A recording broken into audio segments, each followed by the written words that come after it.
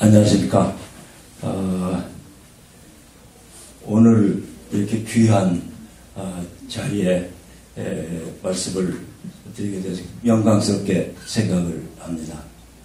어, 저희 대한민국은 어, 2차 대전 후에 에, 140여 개 신생 독립국 중에서 어, 경제발전과 어, 민주화를 성취한 유일한 어, 나라입니다.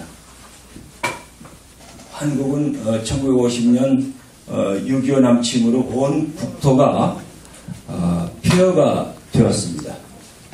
영국 더 타임스의 한국전쟁 종군 기자가 한국에서 민주주의를 기대하는 것은 쓰레기통에서 장미가 피기를 기대하는 것과 같다고 어, 보도했습니다.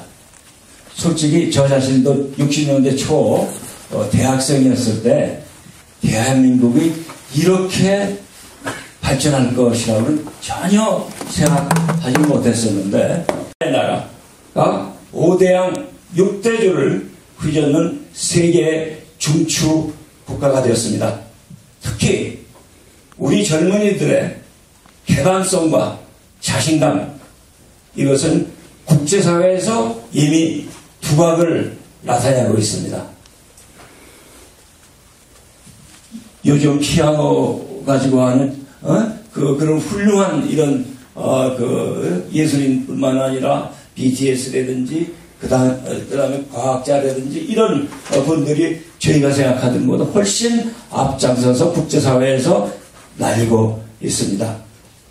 코로나 전에 한국의 해외여행자가 가장 많았을 때 2,900만 명이 해외여행을 했습니다. 그 당시에 우리보다 인구가 두 배 반이 넘는 일본의 경우는 해외여행이 2천만을 넘지 않았어요. 그 정도로 대한민국, 특히 젊은 사람들이 밖에 나가서 자기 그 어, 역량을 발휘하는 그러한 대한민국이 되었습니다. 그런데도 어, 종북 어, 좌파들은 두 번의 대통령에 대해서 부정적 평가를 집요하게 퍼뜨리고 있습니다. 박근혜 대통령에 대해서 마찬가지죠. 심지어 교과서나 교실에서 부정적인 면을 강조하고 있습니다. 북한 정권을 추종하는 운동권의 그 생각을 반영하는 것입니다. 1980년대 주사파 운동권 인물들이 북한의 김씨 부자에 대해서 충성 맹세를 했다는 것은 저희들이 잘 알고 있는 사실입니다. 그들의 속마음은 북한이 조국이라고 생각하고 있는 거 아닌가요?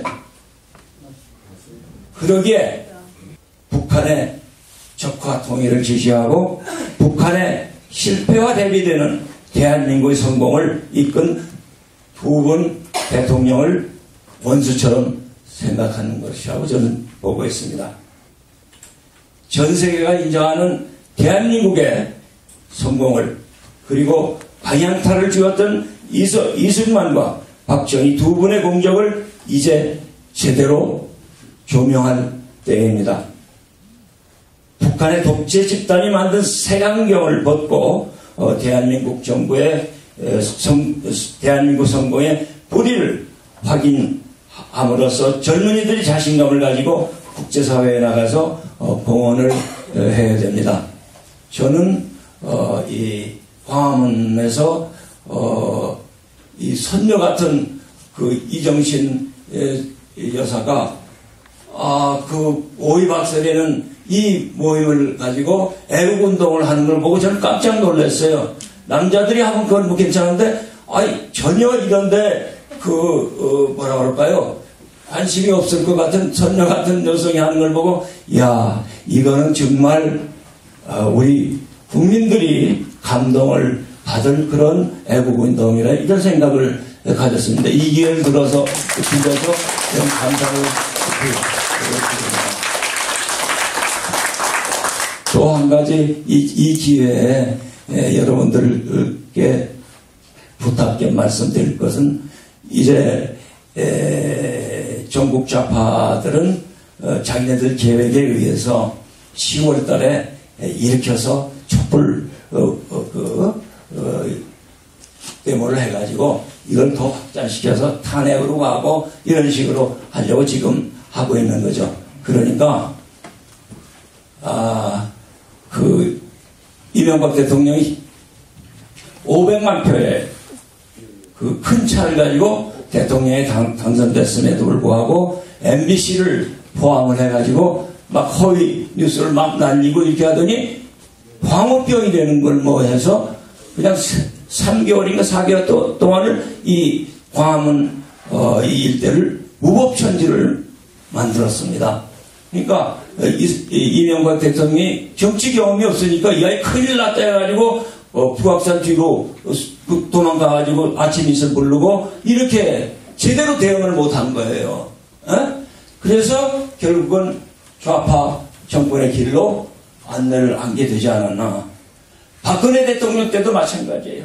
촛불 대모하고 그럴 때 마찬가지로 어, 그 밀린 거 아니겠어요? 그런데 그때 지금하고 비교하면은 우리 애국 시민들이 그때 의도적으로 한건 아니지만 이 문제의 중요성을 파악을 못하고 그냥 촛불 있는 거 그냥 아 저, 저게 진짜인 줄 착각을 하고 방관을 했던 거예요. 방관을 했기 때문에 촛불이 그 좌파 혁명으로 돼버린 겁니다. 그래서 이 기회에 예를 들면은 이번 어 10월 22일이 저기 환경연 민노총 뭐 이렇게 해가지고 촛불 대모 시작해서 길거리에 주저앉아가지고 이걸 다시 또 어, 제2의 광우병으로 몰고 갈 지금 어, 계획인 걸로 저는 어, 이게 선하게 보입니다. 그렇기 때문에 그때 애국 시민들이 모든 단체들이 마찬가지야. 형동원에서 저걸 완 압도를 해버려야 되는 거예요. 맞습니다. 네, 그래서 여기 계신 분들이 가족을 만들고 관련 있는 단체들이 다 해서 그날 압도를 해가지고 저게 일반 국민들한테도 저게 엉터리 되는 것을 알수 있게 우리가 한번 이번에 힘을 모았으면 좋겠다 하는 게 오늘 드리고 싶은 특별한 부탁입니다. 감사합니다.